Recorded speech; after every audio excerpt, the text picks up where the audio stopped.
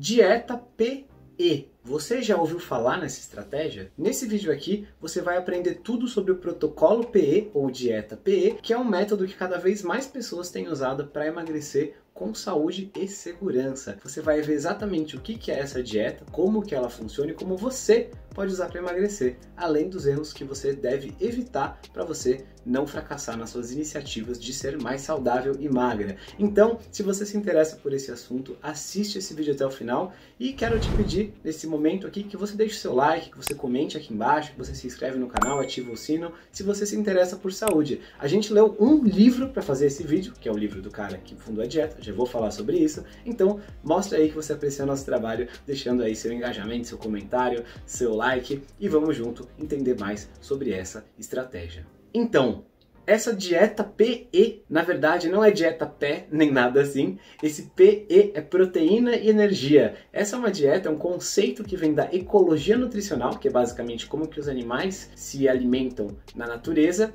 e que o médico americano Dr. Ted Neyman usou com sucesso em si mesmo e em vários de seus pacientes. O Ted Neyman, como você pode ver nessa foto aqui, é um médico americano que teve resultados drásticos também seguindo os protocolos da dieta PE, que ele ensina para você num livro chamado Dieta PE. Realmente é bem literal.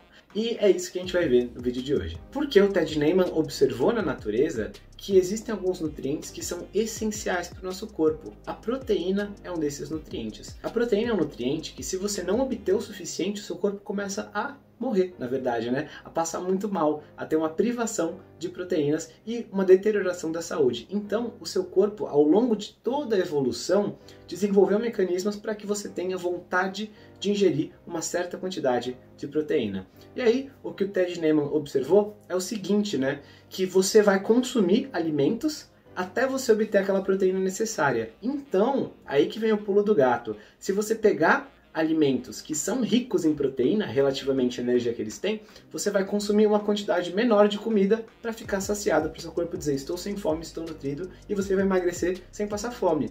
Ao mesmo tempo em que, se você consumir alimentos que são pura energia e tem pouca proteína, e eu já vou dar exemplo de alimentos desses dois grupos, tá? A gente vai ver vários alimentos onde eles se encaixam ao longo desse espectro. Aí você vai precisar comer muito mais calorias, muito mais quantidade de comida para ficar saciado ou saciada. Então, é daí que vem o conceito do PE. Você vai tentar melhorar a relação entre proteína e energia na sua dieta. Pode estar um pouquinho abstrato pensar em proteína e energia, então vamos ver alguns alimentos onde eles se encaixam nessa escala para você aprender como fazer boas escolhas. Por exemplo, essa imagem aqui mostra vários alimentos e onde eles se encontram na relação PE. Então você pode ver que um alimento como, por exemplo, peito de frango ou salmão é um alimento que tem bastante proteína para relativamente pouca energia, né? Proporcionalmente. Você vê os que estão mais à esquerda, mais em cima do nosso eixo do P, são alimentos com melhor relação proteína-energia. E os que estão mais à direita têm uma relação pior. Aí você vê também umas hortaliças, né, acredito que representadas por um espinafre aqui,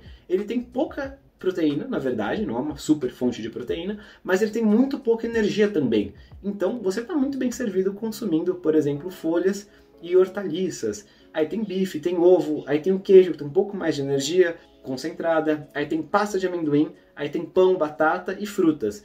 Então você percebe que esses alimentos não é que eles são intrinsecamente ruins, se comer um pedaço de fruta vai te matar, mas que se a sua dieta for muito orientada para alimentos que tem pouca relação proteína e energia, você vai precisar comer muito mais quantidade. E isso, nesse desenho, ele mostrou só alimentos que são mais ou menos de verdade, né? Claro, tem a exceção, o queijo é um pouco processado, tem o pão, que ele mostrou que também é uma relação proteína e energia ruim, mas na média são alimentos pouco refinados, né? Tem ali a batata, a fruta, o peixe. Se você pega alimentos mais processados, isso piora, porque nos alimentos processados, a gente geralmente tem a matadora combinação de alta gordura alto carboidrato e baixa proteína. E aí você come de maneira desenfreada. Inclusive, falando no grau de refinamento dos alimentos, talvez você já tenha ouvido falar sobre dieta paleo, ou paleolítica, ou primal. Se você já ouviu, comenta aqui. Se você não ouviu, comenta aqui também para saber do grau de conhecimento de vocês, se querem saber mais sobre isso, se não querem. Mas basicamente, a dieta paleo diz pra gente comer alimentos como eram encontrados na época do paleolítico, antes da agricultura.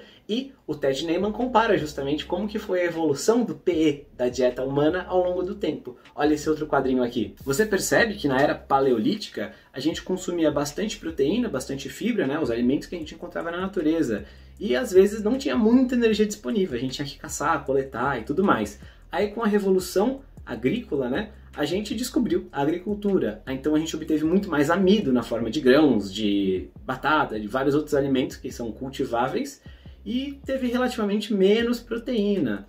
E aí teve a revolução industrial nos últimos aí, 50, 100, 200 anos com cada vez mais refinamento alimentar. Então hoje em dia, se você andar nos corredores do supermercado, você vai ver que é uma minoria de corredores que tem carne, peixe, ovo e folhas, e na maioria vai ter vários produtos comestíveis baseados em comida refinada, óleos vegetais, açúcar que vem da cana, mas é refinado. Você vai ter biscoitos, bolachas, chocolates, iogurtes adoçados, enfim, todo tipo de coisa, suco de caixinha, refrigerante, tudo isso são várias variações desses alimentos ultra refinados e, em média, de bem baixa relação proteína-energia. E aí, na imagem que eu mostrei anteriormente, né, você podia ver como a forma física do ser humano foi piorando também. E como que tanta gente, ao mudar para uma dieta paleo, você baseia sua alimentação em comida menos processada, sua relação PE tende a melhorar em média. E é claro que você consegue errar em todas as dietas, né? Tem gente que vai fazer paleo e vai falar, vou comer só frutas o dia inteiro, é paleo, o ser humano tinha acesso a frutas.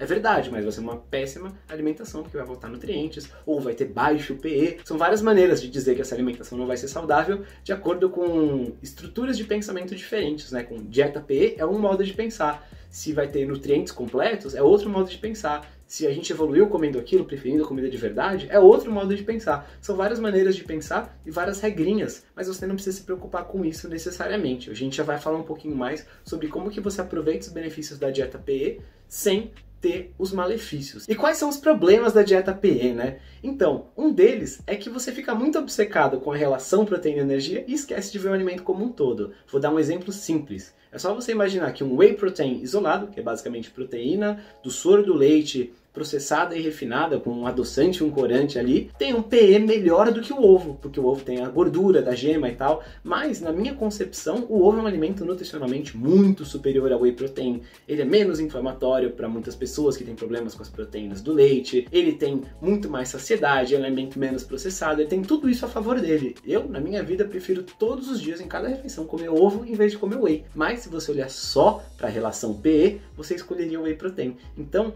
ele é uma lente lente, né, um tipo de óculos que você veste, é através do qual você começa a olhar tudo através da lente do PE. Assim como quando você põe um óculos de lente laranja, tudo ao seu redor parece laranja, mas não quer dizer que você esteja vendo tudo certo. Além disso, quando você coloca proteína e energia, parece que é tudo farinha do mesmo saco, né? Todas as proteínas, todas as energias, mas claramente não são. Por exemplo, a proteína que tem na ervilha é muito menos disponível para o seu corpo do que a proteína que tem no salmão ou no ovo, por exemplo. Assim como a energia que tem na gordurinha do salmão, né, na pele do salmão, é muito mais nutritiva para você do que a gordura que tem, por exemplo, no óleo de soja refinado. Então, não é tudo igual, mas se você coloca tudo no saco, isso é proteína, isso é energia, você começa a ter uma visão meio distorcida do mundo. E isso é uma coisa também que é uma desvantagem da dieta PE, na minha opinião. Por fim, a maior desvantagem de todas, ao meu ver, é que muita gente fica obcecado por calcular o índice PE de cada alimento ou da dieta. E o que, que é esse índice PE? Basicamente, o que o Ted Neyman ensina a fazer essa continha é assim: você vai olhar a informação nutricional do alimento e vai estar lá proteínas, carboidratos e gorduras, em gramas, né?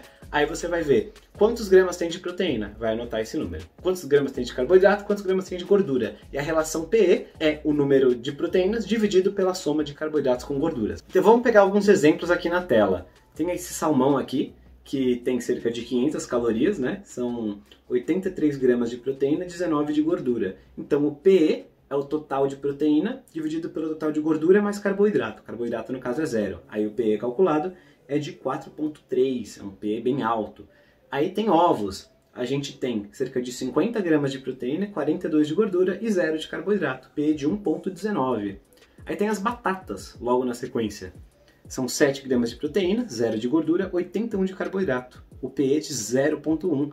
Então a gente consegue observar que a batata é um alimento com PE muito pior do que o salmão ou os ovos. E se você quiser emagrecer, vai preferir um PE maior, então vai preferir ovos ou salmão em detrimento da batata. Por último, o último exemplo aqui é um iogurte natural, né? não é aqueles iogurtes super adoçados do mercado.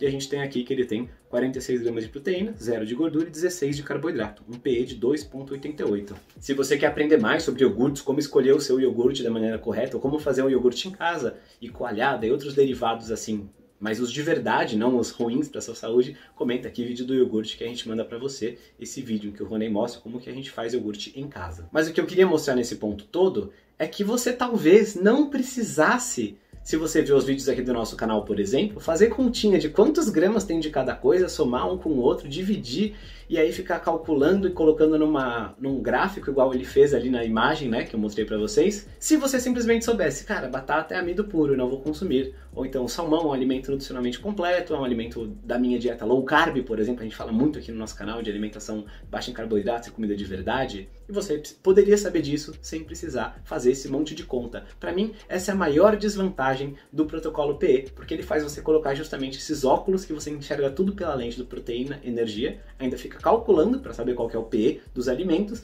e você esquece de princípios realmente importantes. Mas não é tudo de ruim, né? Tem fatores bons a favor do PE. Vamos ver alguns fatores a favor desse tipo de dieta. Um dos maiores fatores a favor é que funciona, simplesmente funciona. Se você seguir esse tipo de protocolo, você vai ter resultados de emagrecimento sim, e com menos complexidade do que outras estratégias, né? Tem estratégias muito malucas que, por exemplo, uma de dieta flexível, que você vai comer menos calorias do que você gasta, só que você vai calcular tudo muito mais do que na dieta PE, vai ter que anotar tudo que você come, é muito mais difícil, é muito mais chato. Então, nesse sentido, ela funciona e é mais simples, já são dois pontos a favor bem grandes da dieta PE. Além disso, você tende a preferir comidas menos processadas porque elas tendem a ter um índice PE melhor do que uma comida processada. Qualquer tipo de folha, ou de peixe, ou de carne, ou de ovo, vai ter um PE melhor do que uma batata frita, do que um sorvete, pizza, refrigerante. Então, mesmo pela ótica do PE, você acaba fazendo escolhas melhores. Esse é um ponto a favor também. E por fim, ela lembra que a proteína é essencial. Serve como um conceito para você lembrar que, por exemplo, só porque um alimento é low carb, por exemplo, ou comida de verdade, talvez ele não seja tão bom, porque não é uma fonte tão boa de proteínas. Então lembra para você que mesmo alimentos que não tem nada de errado com eles, como por exemplo, castanhas ou frutas, são ideais para não serem a base da sua alimentação, porque eles não vão contribuir tão favoravelmente com o PE da sua dieta. E aí você percebe que uma dieta PE muitas vezes é basicamente uma dieta de baixo carboidrato, só que ele nem chama de baixo carboidrato, chama de dieta certa. Ou como você pode ver nessa imagem na tela, você tem na esquerda a dieta que a maioria das pessoas do mundo ocidental consideraria normal, que é uma pirâmide cheia de carboidrato processado e baixo PE, e na direita uma pirâmide aí com alimentos que têm um bom PE, que fazem parte de uma dieta saudável. Só que olha só essa lista de alimentos. Vamos observar nessa figura. Olha o que a gente tem aí, uma fruta como abacate, berinjela, pimentão, framboesa, a gente tem vários vegetais, a gente tem carne, tem peixe, tem camarão, tem ostra, tem ovo, tem um monte de coisa que são as bases de uma dieta low carb. Então você percebe que ele deu toda essa volta na proteína, energia, ecologia nutricional, todo esse monte de coisa para chegar numa dieta low carb como aquela que, se você acompanha a gente, você já conhece. E mesmo esses vegetais que são liberados, né, são os mesmos vegetais liberados que a gente apresenta aqui. Se você nem sabe quais são os vegetais que são realmente liberados, até numa dieta low carb ou cetogênica, comenta aqui, vídeo dos vegetais liberados, que eu mando esse vídeo para você.